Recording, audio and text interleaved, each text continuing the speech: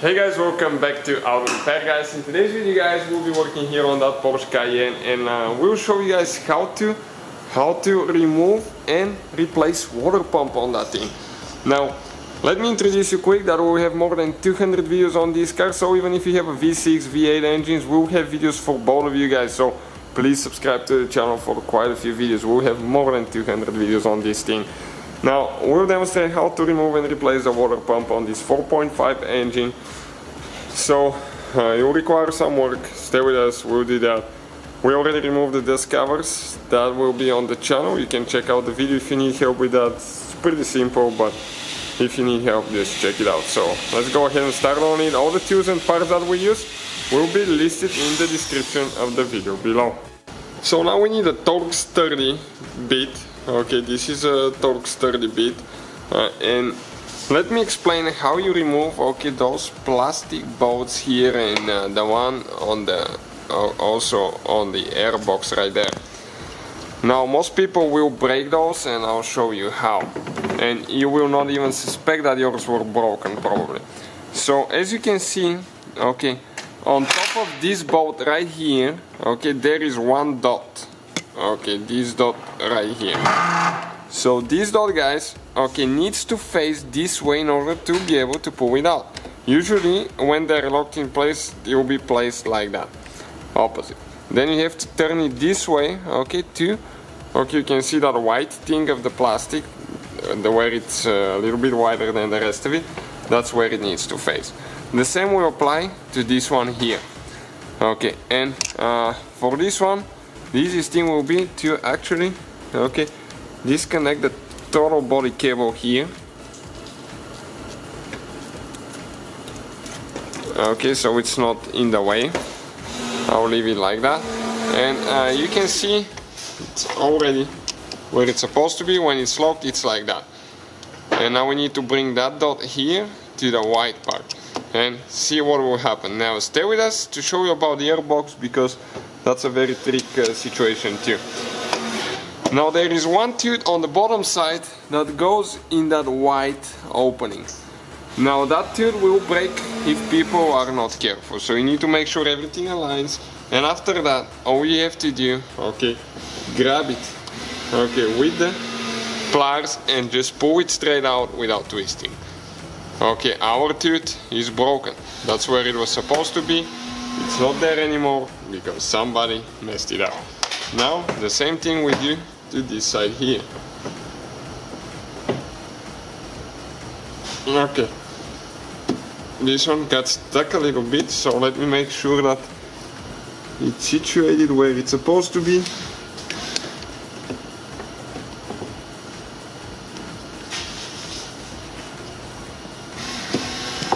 Okay, I see that uh, thing actually on the bottom, that tooth, that it's bent. So somebody tried to pull it out the wrong way and now that's going to cost us a little bit because it will be it will be stuck. So in our case I'll have to move it a little bit left or right until it goes in the canal, okay?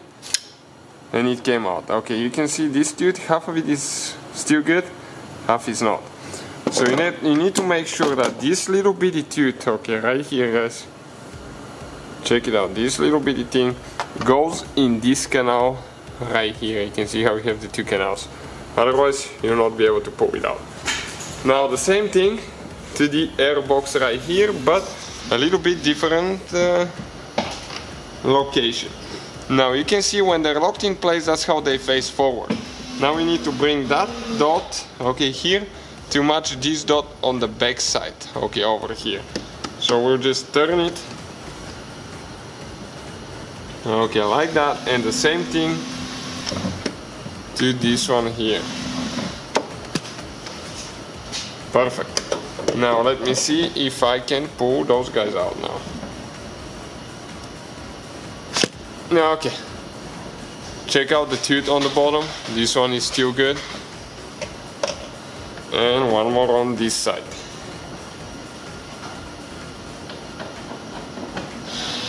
okay need to situate it exactly where it needs to go if it doesn't come out Okay, don't break it. You need to move it a little bit.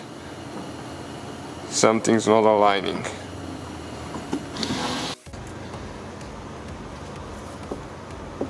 Okay, so eventually, okay, it comes out. Okay, this is uh, this is this one here as well. Now, need to go to this side now. Okay, and we need to do the same thing. Now you can see the dots are on the back side. Okay, right here. So I'll turn them to align this with the dot there. And this with that dot. Okay, we'll need to go ahead and pull them out now.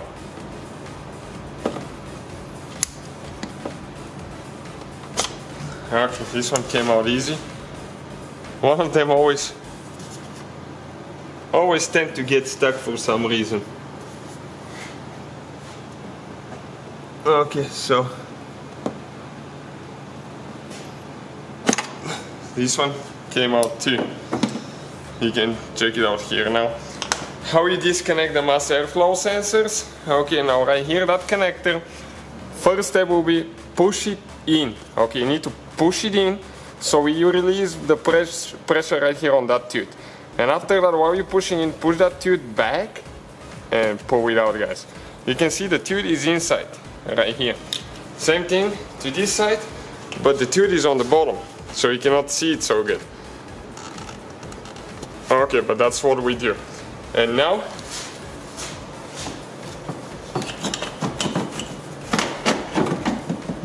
okay, we have one vacuum hose underneath that we need to disconnect here.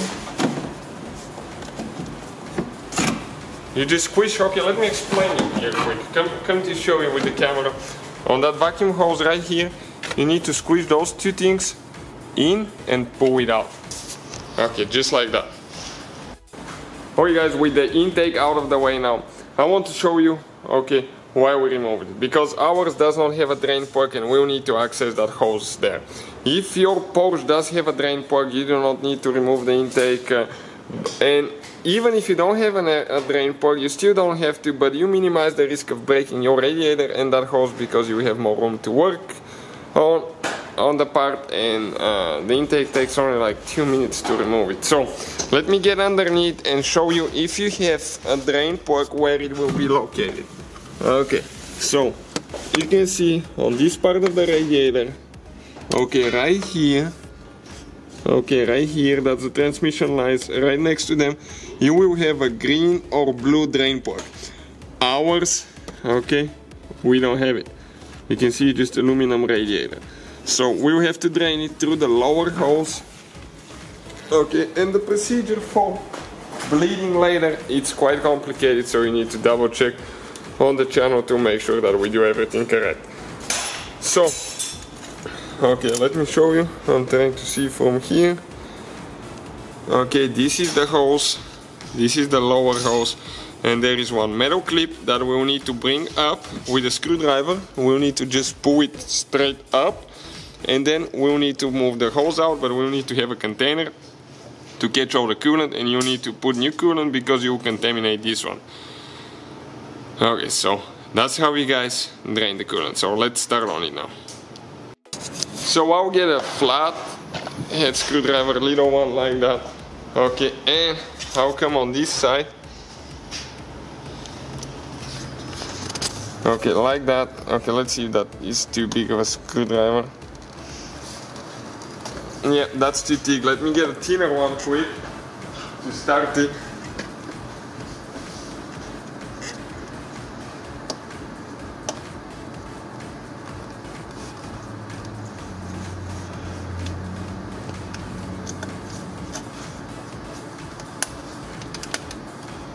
Okay, like that. You don't have to remove the spring all the way. It has one a certain position where it stops.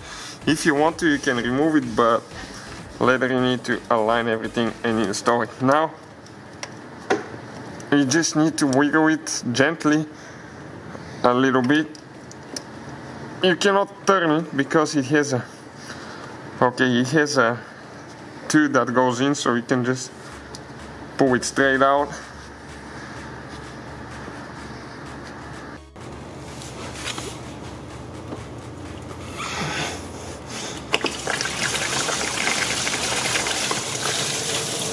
Okay guys, coolant's coming out. So, you can see, quite a bit of a mess. We're going to let it drain for a long time. So, for the belt, pulleys or anything like that, you do not need to remove the fan. In our case we will, so we can stick the camera in a better angle and we can show you better and we can reach easier. Now the fan takes only like probably 2 minutes to 5 minutes to remove it, so that's what we'll be doing. It's your choice if you want to do that or not. So let's start on it now. So now, in order to remove the belt, okay, right here you can see, okay let me get that hose out of the way, you can see that metal thing that's made to be cut with a wrench. Okay, I'm trying to focus. Uh, it's the one for the tensioner pulley, right there. So we don't have a wrench exactly that size, but we have the crescent wrench right here, and we need to go clockwise to get the belt loose. Okay, remember now, clockwise.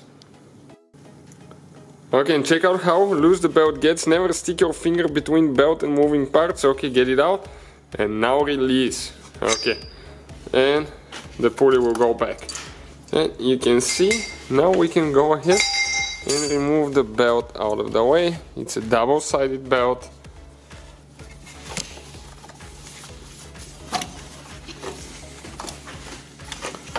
Okay, we need to pull it one way or the other because here it's the uh, oil dipstick. Okay, now it's caught on the bottom. On the crankshaft pulley. Again, it's on the crankshaft pulley now.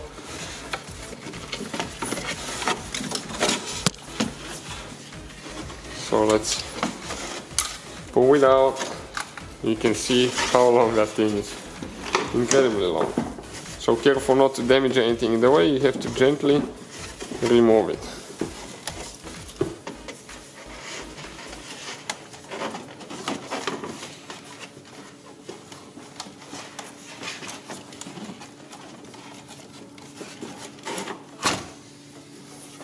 Okay, perfect guys, and this is the serpentine belt out of the way. Okay guys, so now, if you want to remove the water pump only, what you will have to do, this pulley will need to come out, this is Torx 40, we'll get them loose in a minute, but uh, once you remove that thing, you can reach the bolts for the water pump and remove the water pump only. In our case, okay, we are not uh, going to do that right now, because we'll put new thermostat as well. And the new thermostat guys, uh, we'll have to take the intake apart, uh, the intake manifold and all that stuff, so uh, we'll go the long route. Okay, if you want to skip that, just uh, stay with us, we'll show you how to remove that pulley and all the bolts for the water pump will be underneath. So let's start on it now. So the water pump pulley bolts, if, uh, if you hold them with two hands, okay, that pulley with T40, Torx 40, you can go ahead and get the bolts loose. Okay. One person holding it with two hands and one taking them off usually works out good, but careful not to smash your finger somewhere because that could happen. And you can actually do that while the belt is on. So it'll help you more. Okay we didn't think about it to be honest with you. So we'll go ahead and remove the three bolts now all the way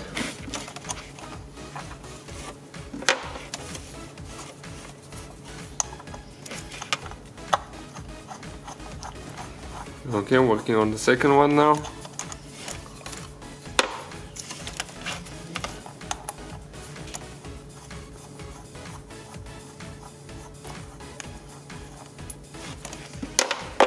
Third one out. Okay, let's see if the pulley is going to come out now. It will be probably stuck a little bit in there. Okay, so now we'll get a little bit of a prying bar, but you have to be very gentle, don't push too much, and wiggle it a little bit. Okay, so, okay, hopefully it will come out. Okay, it's coming out little by little, but it's stuck, okay, pretty, pretty good.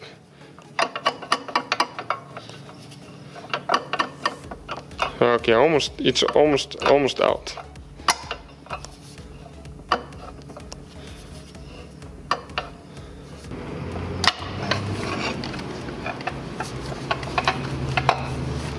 Okay, A little bit stuck here, but that's fine. So those are the 8 bolts now. If you want to remove those, you can pull the pump out. But we're going to go the long route. Okay, so now uh, with all the things out of the way, we can show you where all the bolts are for the water pump so you can see better. That's why we need to make more room. But uh, you don't have to remove all that stuff. I told you again, we just uh, want to put new thermostat as well.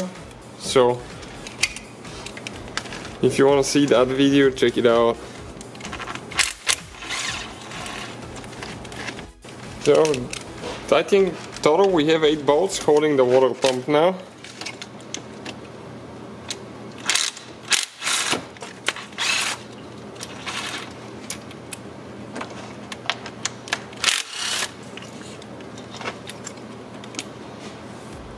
We should have a gasket there as well.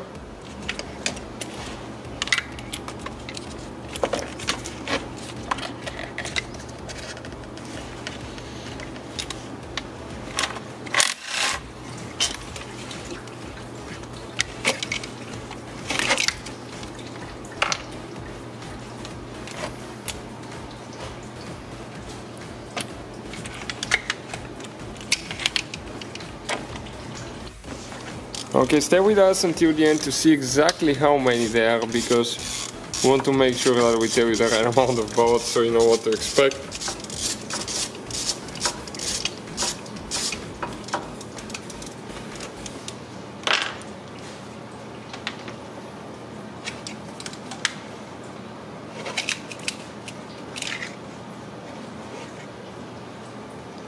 So this should be the last one there.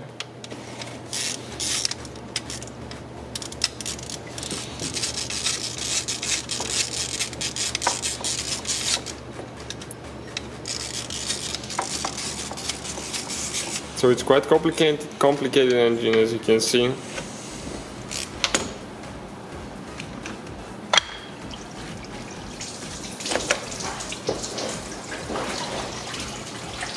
Okay, more coolant came out and the water pump is out of here now.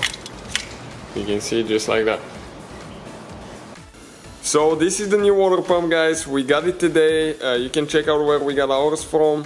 Uh, we ordered actually a thermostat as well, uh, the water pump and the gasket here as well. This is a new gasket, so that's uh, that's amazing. Always put new gasket uh, when you replace the water pump.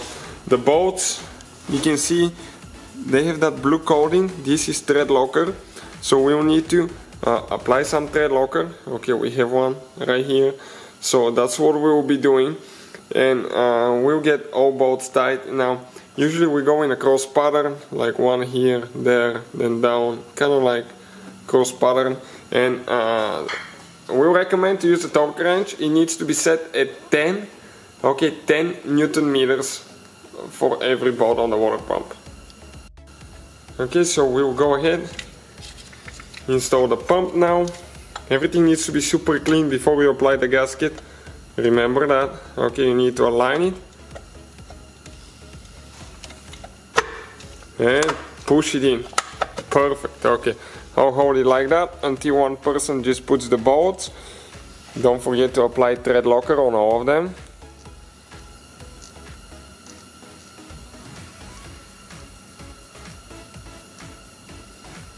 Okay perfect just like that. And now we'll need to put each one of them here. The one on top. Okay has that holder for the wires there